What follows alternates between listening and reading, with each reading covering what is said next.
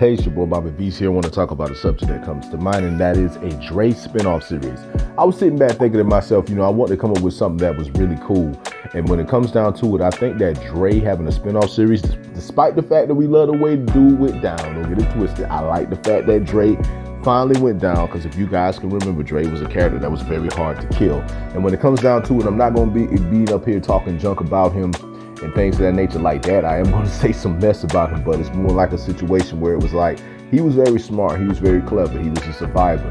Ghost wanted to take him under his wing as a protege. Dre got to a place where he was even going to betray people like Kanan and everybody in order to have Ghost guide him because at the end of the day, he ended up admiring Ghost. And in some way, he's actually Ghost's side child, like an outside child.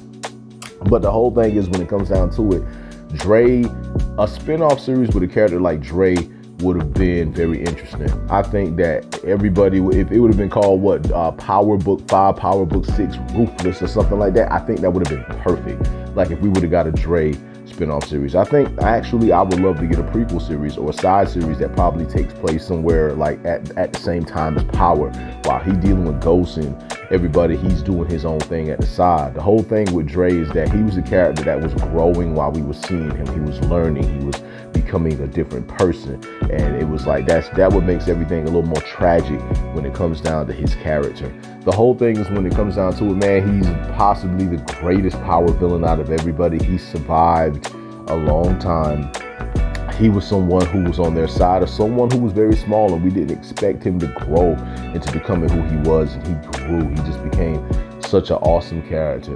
Um, and and and just you know, I think a spinoff with him would have been entertaining. I think uh, it would have been so entertaining it could have rivaled that of Ghost, Raising Kanan, and Force. Um, I really think that you know, like this is pretty much a what if video. Like, what if we got a Dre spinoff? Like, how would you feel about it? Like, what would you be thinking about it? Like, how, what would come to mind? Like, how you think he would do things? Because we've seen Dre do some stuff that was pretty much about him and himself. And the only person he seemed to really care about to some degree was his daughter. And um, not only that, we saw where he got his ruthlessness from. It obviously came from his mom because even when he was pleading with her to help him, and she could have gotten him out, um, and she chose not to. Uh, that's where his ruthlessness comes from. And so out there in the power place, you know, I mean, well, in the universe, out in the power universe, his daughter is still alive.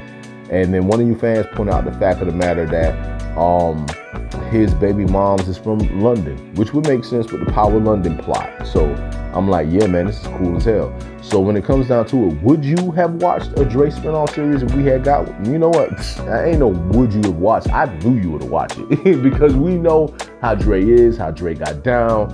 And one of the most famous lines we love to call him is bitch ass Dre.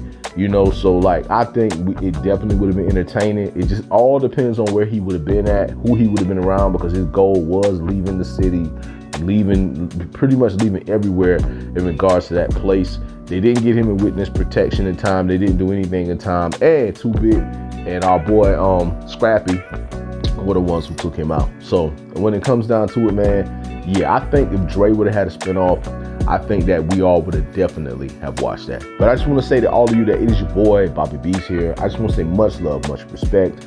Hold it down. And one.